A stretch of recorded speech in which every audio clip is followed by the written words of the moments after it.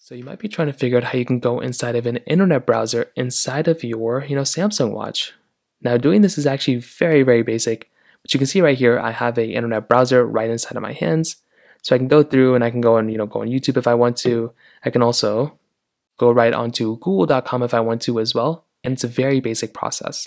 So to get started, what you're going to want to do is you want to make your way over into your Samsung Galaxy, you know, app library, which is like this right here. And all you're going to want to do is you want to make your way over into your Google Play Store. Now, when you do that, you're going to come into this next page. So what you're going to want to do here is you basically just want to go and scroll up until you find the search bar.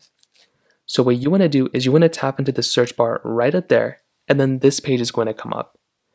Now, all you're going to want to do here is you basically want to go through and click on the search bar up here, and you want to type in Samsung Internet.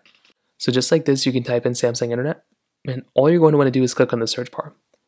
Now, when you do that, this next page is going to bring you into this page, and right here where it says Samsung Internet Browser, you want to go and tap on it. Now, when you tap on it, all you're going to want to do here is you want to go and click on Open. So now, all you're going to have to do is basically open it, and it will bring you right into your Samsung Internet Browser. Now, it may not take you into a page that looks like this, it probably will end up taking you into a page that looks something like this.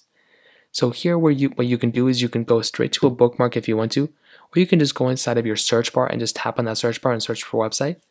But from here you can go into realistically speaking any website that you want to, and it really is a basic process. So that's basically how it's done, and that's how you do it. If you have any other thoughts or questions, let me know in the comment section below. Hit the like button, that would mean so much, but definitely hit that subscribe button. More importantly than everything else, I love every single one of you guys. Hopefully I'll catch you guys in the next video. Peace out.